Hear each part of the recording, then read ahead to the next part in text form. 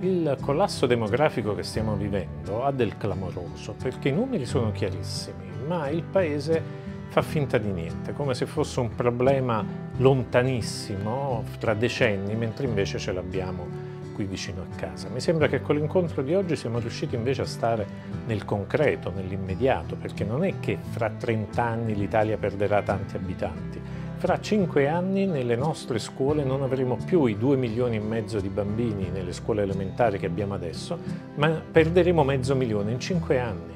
C'è una cosa immediata che abbiamo attorno a noi e che nei paesi delle aree interne però si capisce di più.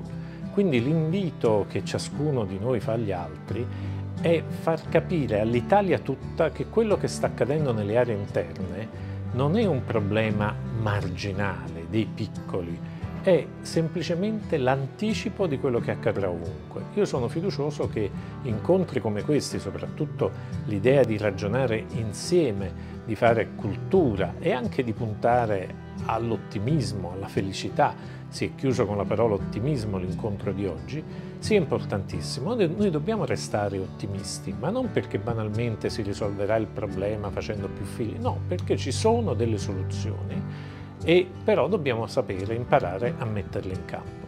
Continuare a ignorare la sostanza del problema invece, quello sì, ci porterà a una situazione irreversibile. Nel 2027 quindi fra tre anni, non fra mille, noi avremo in Italia più persone di anni 80, 80 che di anni 18.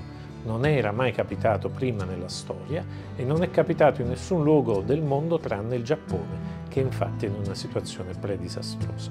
Tre anni di tempo sono sufficienti per risolvere il problema? No, ma per cominciare a reagire sì.